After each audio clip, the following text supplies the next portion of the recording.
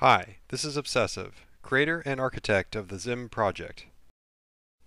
This is the first in a series of instructional videos covering the setup and use of XIM 3.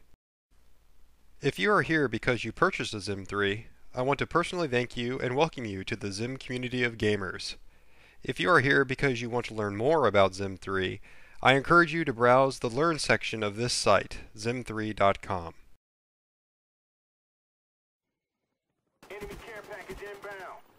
XIM3 is, and always has been, about enabling Xbox 360 gaming with input devices that suits the gamer best.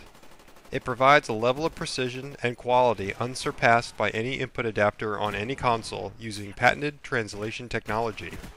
All of this in an easy to set up and easy to use device.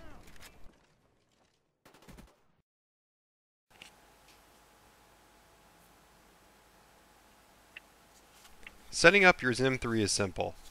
The XIM 3 device has four USB connectors on the back. One used to connect your XIM 3 to your Xbox 360 console,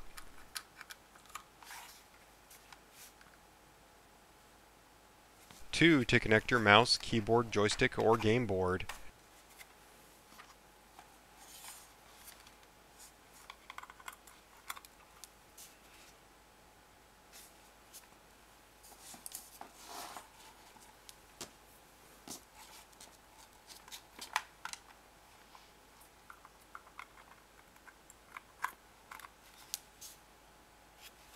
and the last to connect your wired Xbox controller.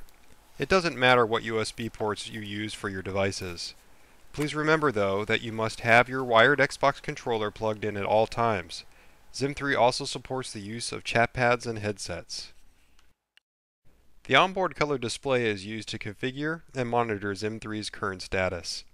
The Xbox controller is used to access and navigate XIM3's user interface by pressing start and back at the same time.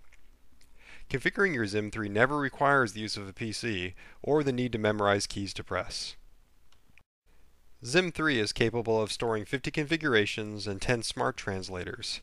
Smart translators are unique to XIM 3 and provide the best possible precision mouse experience with minimal configuration. Since every console game behaves differently, a unique smart translator is created per game. To learn more about XIM 3 smart translator technology, visit xim3.com.